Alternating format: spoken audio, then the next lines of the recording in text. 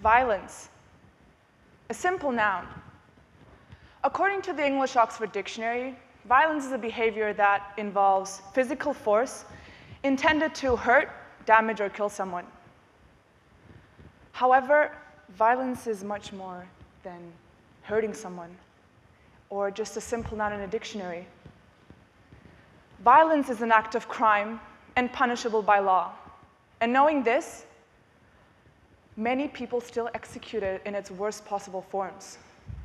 Now, here's the point no matter how educated we are, no matter how advanced humankind is, no matter in what century we live, the act of violence will always be within us if we don't interfere now.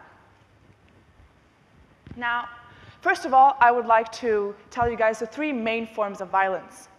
First one is physical violence, and the most occurring one. Physical violence is when someone physically beats you, whips you, or tries to hurt you. Emotional violence is when someone verbally abuses you, trying to hurt your feelings. And sexual abuse is, in this case, when an adult is forcing a minor to do sexual activities such as sexual intercourse. Now, why am I specializing this presentation on Cambodia? Is it because it occurs here a lot? No. In order for our society to make a change, we need to start small. We need to start making a change in our community right here and right now. And violence is not something that occurs to a specific group of people at a specific time, and it occurs everywhere, in every single culture, under any possible circumstance, to anyone and everywhere. Now, Looking at a study UNICEF conducted in 2013, where they interviewed 2,376 students, I mean children, 50% of them said that they were physically abused. 25 said that they were emotionally abused, and 5% said sexually. Now, looking at a scale, at a global scale, where the children that have been interviewed all range from the age of 13 to 24, and the population in Cambodia of that specific age group equals 1.7 million.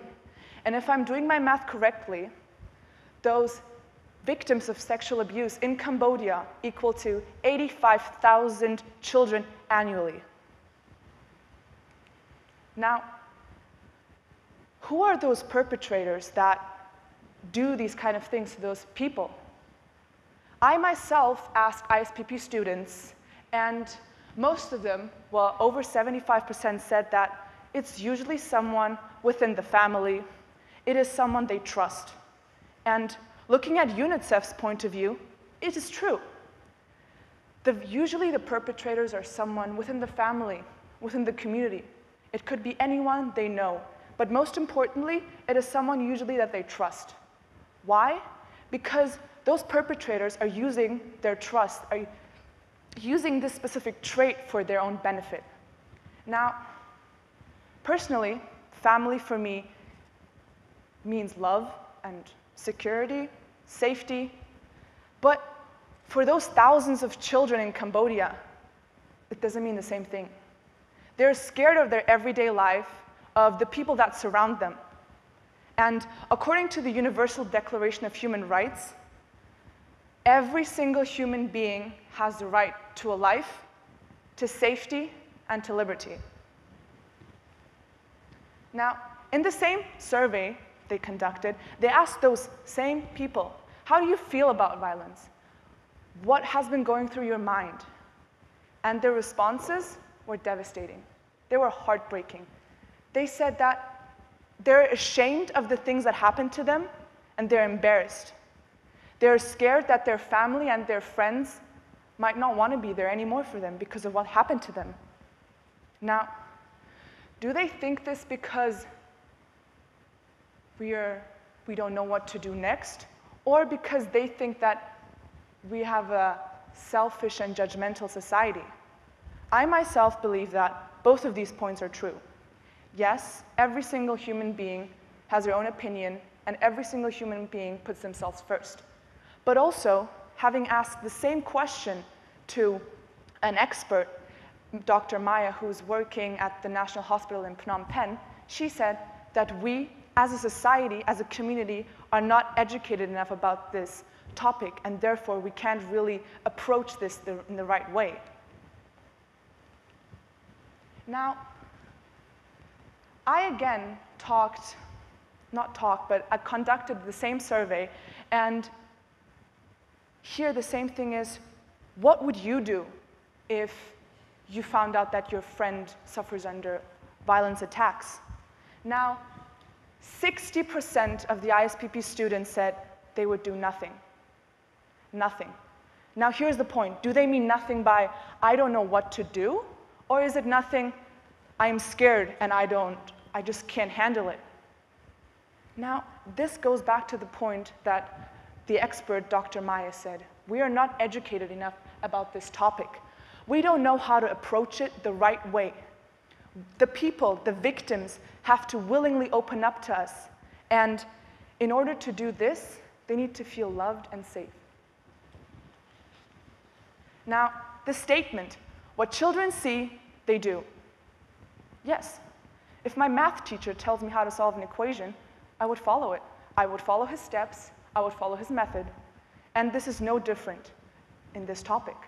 The perpetrators usually themselves have had some sort of violence or abusive backgrounds. Usually, they themselves went through the same process, the same vicious cycle. It's every single thing we do, every single action we take always has a reason behind it, and this is no difference in this topic.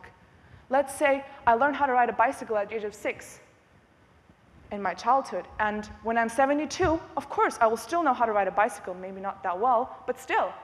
And the same thing applies to here. What you see and what you do in your childhood, what your family, what your community, what your culture shows you, you will most obviously or most you will execute it in your adult, in your adult life too. Now, what do we have to do now? Violence most obviously leaves visible marks, bruises and scars that will maybe fade, maybe not. But there are also invisible traits, such as depression, anxiety, suicidal thoughts, and even attempts. They're all consequences of this. Now, the main factor of these, of these things is that they do not feel the sense of community and they, do not, they can't really open up to us, and this leads to post traumatic trauma. It destroys their future, and most importantly, it affects their academics and their social life. Now, since this is such a huge topic, NGOs and organizations have thought about how to prevent this, came up with methods and strategies. But one thing they all have in common is they all want and need to change the attitudes of both the victim, the perpetrator, but most importantly, the societies. In order for both of them, the perpetrator and the victim, to open up to us, they need to feel loved, they need to feel a sense of community. Now, there are many different types of people. There are visual learners and audiovisual learners. And when opening up to someone, it's not that much different. Some people prefer face-to-face talks, but some of them don't. And therefore, NGOs and organizations have come up with another idea, another strategy in order to help them.